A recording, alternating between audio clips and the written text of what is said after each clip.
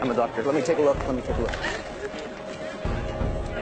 His jugular vein's been cut. Does anyone have a clean cloth? Please, someone. I have a fresh change of clothes in my bag. That's great.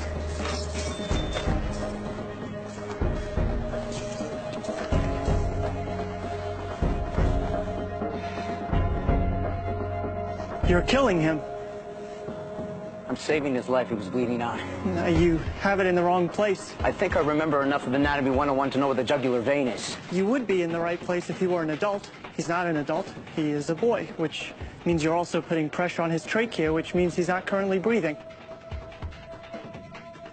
You have to put the pressure higher up.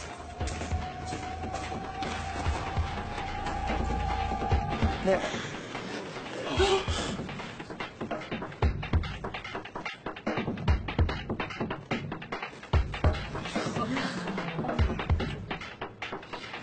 Some glass. He'll be fine. Who are you? Hello, I'm Dr. Sean Murphy. I'm a surgical resident at San Jose St. Bonaventure Hospital.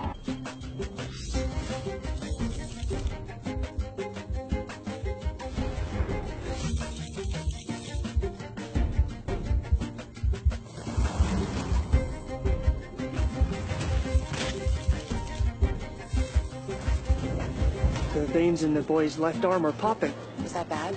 I, I don't see. Intrathoracic pressure. No, his chest is rising. He's breathing. No, the, the, the chest is moving paradoxically. The left lung is in distress.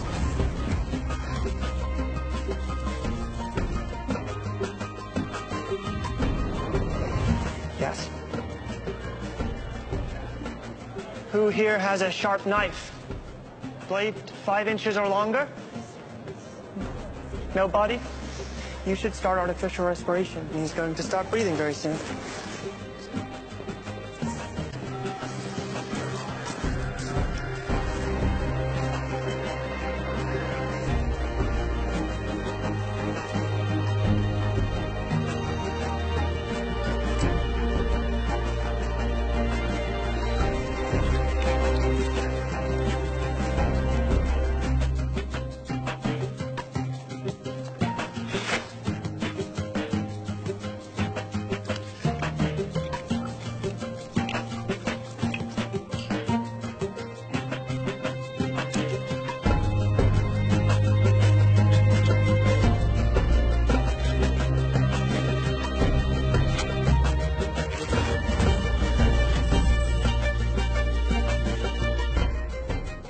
Incision should take place two ribs down.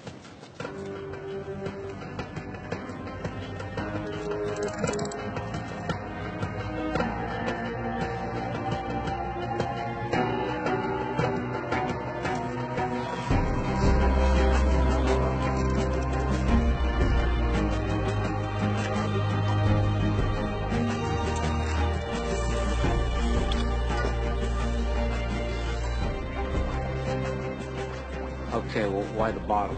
The air will continue to leak and accumulate until the damage can be properly repaired. The tube allows the air to get out, the water in the bottle stops the air from coming back in. A homemade one-way valve.